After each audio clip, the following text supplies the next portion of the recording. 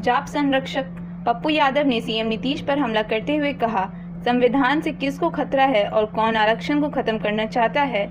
जो लोग लंबे समय तक केंद्र और राज्य में शासन किया है, उनके मुँह से ऐसी बातें शोभा नहीं देती। जिन्होंने कभी संविधान को तवज्जो नहीं दिया, वे कहते हैं संविधान खतरे में है। अपराधियों के साथ मंच साझा करते हैं। आरक्षण के नाम पर नेता लोग वोट की राजनीति करते हैं। S C S T O B C और स्वर्ण के सवाल पर हिंदू होता है। या जब वोट के बाद आती है तो S C S T O B C E B C याद आता है। बिहार के नेता भय और डर का माहौल बनाकर रखे हैं। बिहार को नासूर बनाने में इन लोगों का सबसे बड़ा हाथ है। हिंदुस्तान में आरक्षण और संविधान को कोई चैलेंज नहीं कर सकता है। बिहार के विपक्ष अपने मुँह मियाँ में ठूक बन रहे हैं। मेरा चार सवाल है नीतीश जी और विपक्ष से। चार सवाल। जी। पहला सवाल कि आरक्षण और संविधान को किससे खतरा है और कौन खत्म कर रहा है?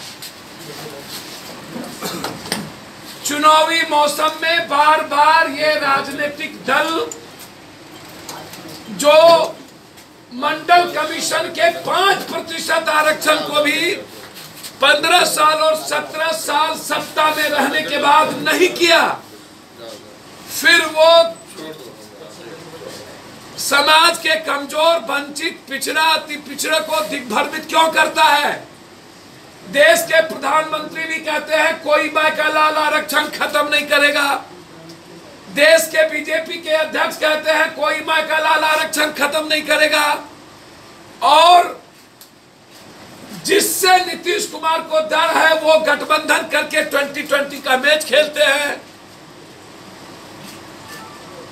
विपक्ष के नेता ट्विटर बॉय, वो कहते हैं कि संविधान खतरे में है।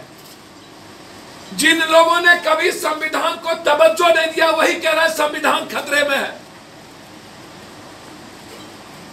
बड़ी बड़ी अपराधी माफिया जिसके मंच पर हो, जो संविधान को, कानून को ताक पर रख करके सब कुछ लूट ले तो ये आरक्षण